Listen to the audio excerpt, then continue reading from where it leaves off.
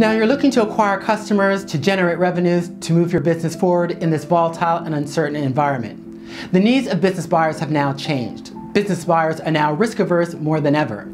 In this video, I'm going to talk about how to deal with the risk averse business buyer. First, you need to understand the different kinds of buyer risks that you may encounter. The first kind of risk you're likely to encounter is financial risk. The larger the cost, the more perceived risk by the business buyer. Therefore, it's very important that you understand how the business buyer determines financial value. Are they looking at return on investment, net present value, internal rate of return? Secondly, provide financing options such as payment plans or subscription pricing. The second kind of risk occurs when buyers are not familiar with the product or service providers. To address this, you need to provide evidence of social proof. So this can be testimonials or references from your clients or customers, or endorsements from industry leaders or influencers. The third type of risk is performance risk, and this is when business buyers are concerned about what happens when things go wrong.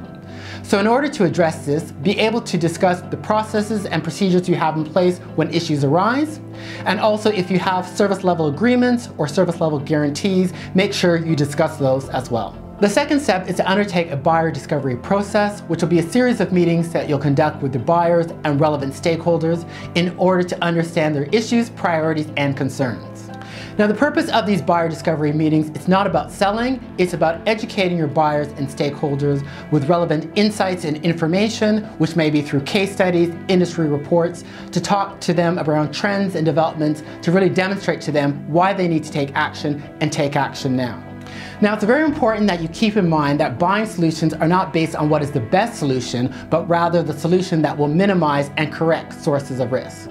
Step three is to assess the risk and develop an implementation plan, and this is achieved by working with your buyers and key stakeholders. When developing your implementation plan, there are some key questions that you're going to need to address. Question number one, how will you customize the implementation plan to meet our needs and concerns? Question number two, what plans do you have in place to address any resistance to change that is occurring within our organization? Question number three, what plans and processes do you have in place for any issues that arise in our organization? If you found this video useful, please check out my free download, Deciphering the Business Buyer. It contains questions to help you understand exactly what business buyers want, as well as how to prepare for those buyer discovery meetings. It's available at listeninnovategrow.com. And don't forget to like, subscribe, and hit that bell. Thanks for watching.